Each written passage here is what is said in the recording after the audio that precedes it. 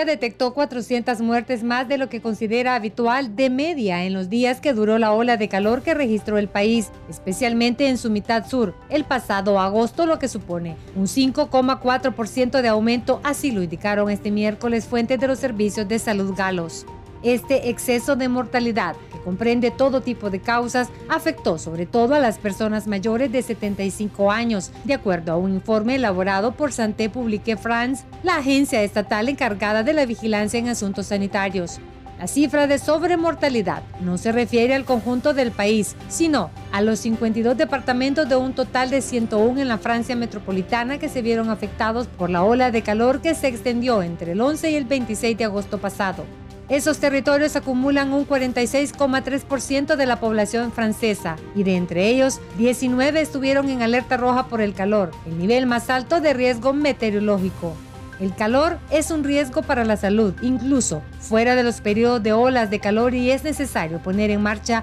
medidas de gestión y prevención para reducir el impacto del mismo en la población, recalcó la Agencia Nacional de Sanidad francesa. Este fue un informe para 11 Noticias.